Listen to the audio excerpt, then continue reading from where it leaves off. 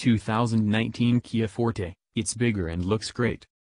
Kia's new compact sedan continues the brand's good looks streak. Overview More than just a budget box, the Forte offers lots of features at a pocket-pleasing price. The base sedan has a 147 horsepower 2.0-liter inline-4 and a 6-speed manual, a 6-speed automatic is available. A 164 horsepower 2.0-liter rounds out the sedan's lineup.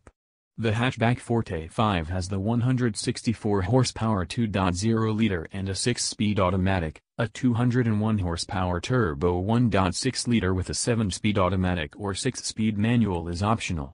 Look for a redesigned Forte to pop up on dealer lots later in 2018. The Kia Forte Compact had its best year ever in 2017, with nearly 118,000 units sold. Yet Kia is doing exactly the opposite of resting on its laurels by introducing an all-new version of the popular Forte. We're seeing the 2019 model first in sedan form, but a reprise of the Forte 5 hatchback should get its own updates soon enough. The Forte's new look is an appealing upgrade, with more chiseled lines and cleaner detailing than before.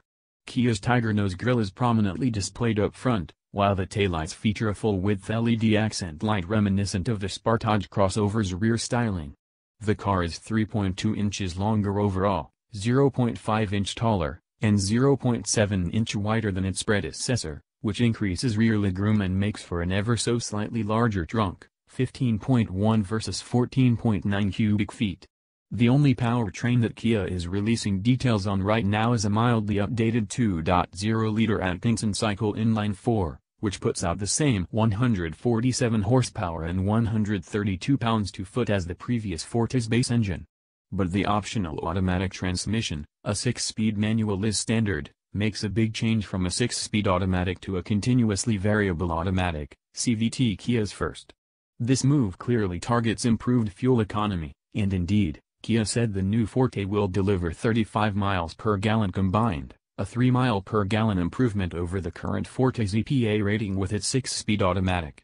To those worried about this transmission type's tendency to cause engines to drone, Kia said its CVT, like many others, uses a shift logic program to simulate gear changes.